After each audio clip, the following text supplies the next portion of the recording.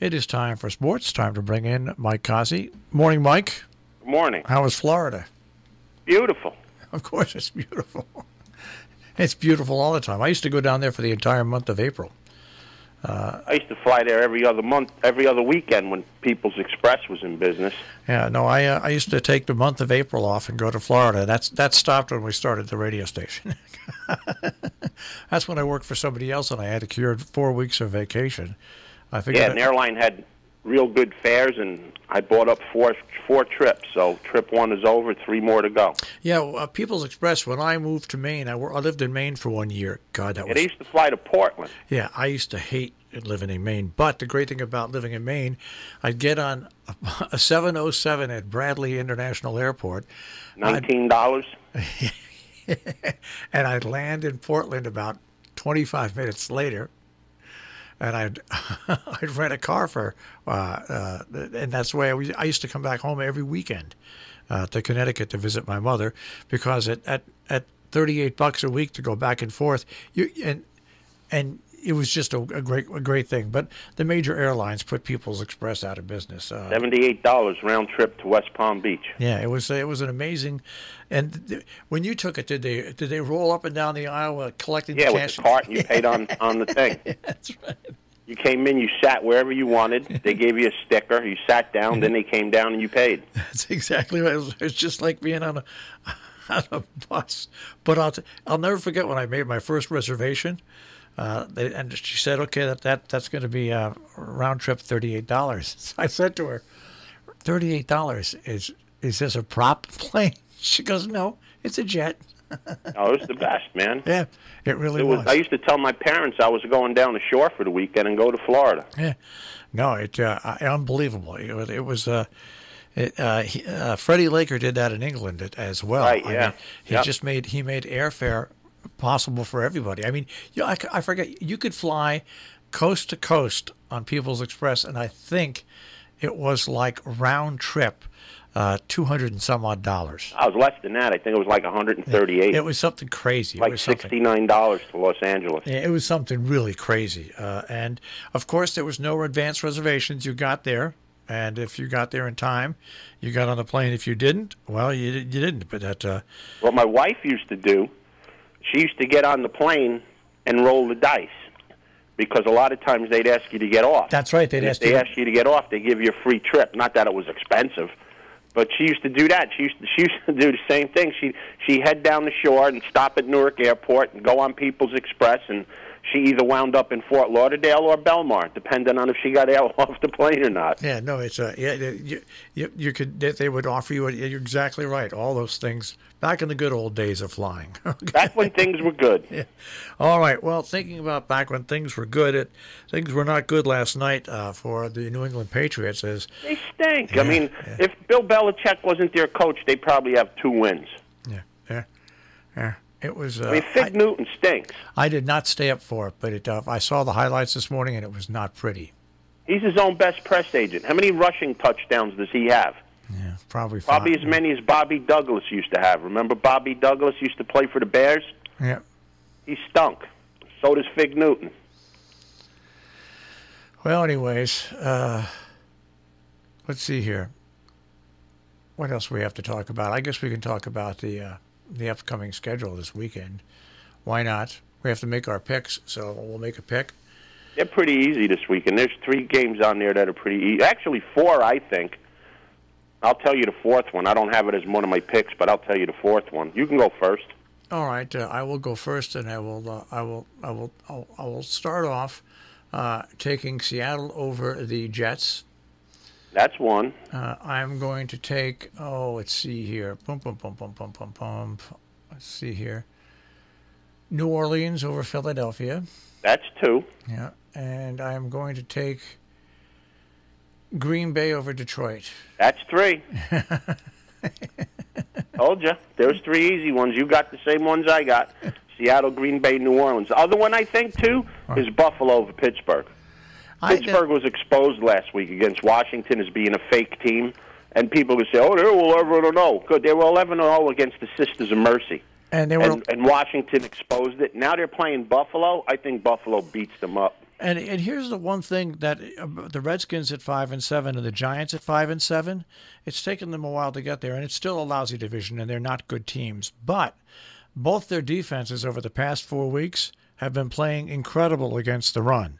Uh, uh, and what happened against Pittsburgh, Washington's defense also, their secondary. Pittsburgh can't run the ball. Yeah, they can't they run can't the ball. run it. They could they could play uh, East Westchester High School. They can't run the ball. So so what what what what Washington did was load up in the mid range and the linebackers and the middle linebackers, and really took any passing away that was going to be possible, and they still had a, a front four, a front three that that put pressure on on, on Rossweiler. So it, they may not score a touchdown against Buffalo. Yeah, it's gonna. It'll be interesting to see what happens there. They might get a, a give me layup at the end of the game when they're losing by about twenty eight, but I, this game's going to be a, a, a very mismatched game. And I think Cleveland Monday night too against Baltimore. Baltimore's been exposed as a fake. They know how to beat Jackson now, and, and Cleveland's going to beat Baltimore. Baltimore's not going to make the playoffs this year. Well, the whole thing with a with a with a great with a great running quarterback who's got a powerful arm, if you, if you can keep him from getting to the outside, uh, and then you once again you clog the middle, uh, he's got nothing to do but throw. And well, yeah, and he can't throw. When Yeah. you got a good when you got a quarterback that can do nothing but run, you put eight in the box and say throw the ball, beat me, and he can't do it. Jackson can't beat you throwing. How about this? Uh, I've been I've I've been a big fan of Larry Fitzgerald for the Cardinals for a long, long time. Uh, He's I, a good player. oh, he's a good player. I always wanted him on the Giants. Oh, he's guy is just good. He's just a great. And, Why and would you want to give the guy a cancer like I that? know. Well, because I'm a Giant fan, and I and I realize how consistent and great of a receiver. You realize that he had this was not known. He had COVID nineteen. He lost. He lost going into this year 19 pounds because of it. Okay. Did he did he miss a game because of it?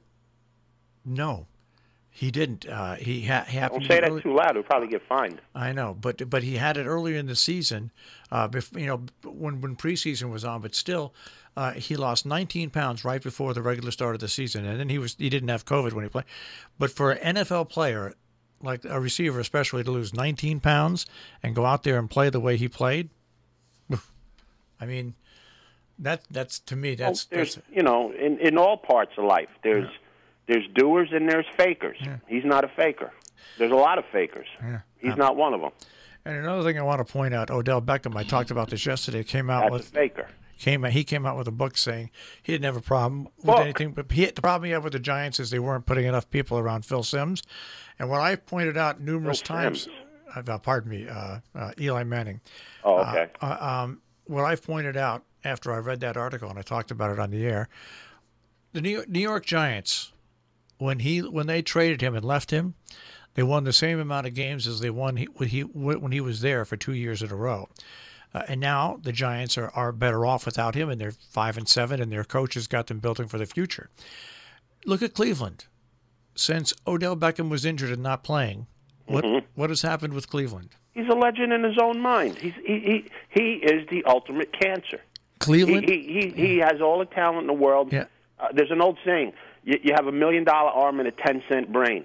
Well, he he's got a million dollar body and a penny brain. yeah, so And we'll uh, go we'll go less than a dime. and, and if we can go less than a penny, we we do that. Yeah, and Cleveland has been outstanding without him in the lineup. Outstanding.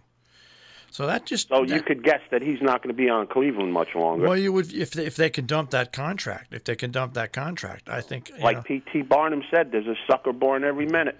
so. That's that, that's something that uh, nobody's really talked about. Okay, uh, is there any racing this weekend at all? Yeah, Gulfstream has a couple of stakes this weekend. Um, the sixth race, uh, it's one of the sprints they have. They have a couple hundred thousand dollar sprints down there. Uh, let me just get to that. The name of the race, I think, is the the Sugar Swirl.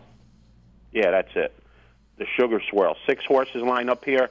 Um, the five horse Cinderbury coming from Parx. Park shippers have been running real big everywhere else, and being that this horse is trained by Brad Cox and has two two bullet works in a row, one at Churchill and one at Palm Meadows, bodes well for this horse.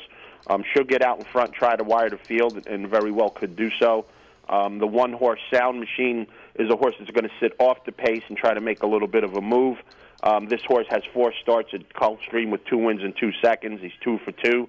So the James brothers, known as the Ortiz brothers, have a good chance to run one two and what would be a very deflated exacta because of this two of them. Good story I got for you. A couple weeks ago, um, Ortiz went out west to ride at uh, Del Mar closing weekend, and they were betting him if he was sitting on one of the police horses, the wooden ones. Yeah. They were even betting him if he was sitting on that. they made him a very inf- deflated one to five on a horse, which made my head scratch. So I just bet a horse I thought had a shot. Didn't even see the odds and I beat him at 45 to 1. So thank you, Ortiz. I, I want to send you a, a box of uh, flowers for that. So 1551 in the sixth. in the eighth race is the My Charmer mile in the 16th on the turf. Couple horses in here look pretty good. One is the three, Our Baby Ruth. Hasn't run since September, but ran a big race at, at Kentucky Downs. Um, horses from Kentucky Downs are running very big everywhere they're going, both Keeneland and Kentucky Downs. So the three is a use, and Saez won six races last weekend, last Saturday at uh, at Gulfstream. So um, he's a go-to rider. So far, he's only riding on the weekends. Uh, the five Lady Lawyer, Chad Brown, another Keeneland, Kentucky Downs shipper. Um, shows speed at Keeneland, came from off the per- pace at Kentucky Downs. Uh, so this horse is very versatile. And uh, my top play in here is going to be the six horse Medita, trained by Arnaud Delacour. Uh, this horse is coming from Kentucky Downs. Um, after that, ran at Presque Isle on the poly track. Definitely didn't like the track. Was bet down that day. Um, so just that race is just a toss. I expect this horse to run pretty decent tomorrow. So three, five, six in the eighth race, and then the tenth race is their bigger race of the day. It's the Grade Two Fort Lauderdale mile and an eighth on the turf. Um, to me, this looks like a two-horse speed race. Uh, the two horses outside factor this and Holiday and uh, I give uh, Holiday the choice here over the over the nine. So it's nine, ten, ten, nine. Holiday the ten, the choice. Uh, this horse is a perfect three for three over Gulfstream Park. So um, you don't need more than that to convince me. So ten, nine, nine, ten in the tenth race with the ten to win. Uh, so those are the couple of races we got this weekend down south. All right, Mike. We'll check with you on Monday. You got it. Have a good day. Take care. Mike Cosby with a check on sports this morning here on Robin Hood Radio.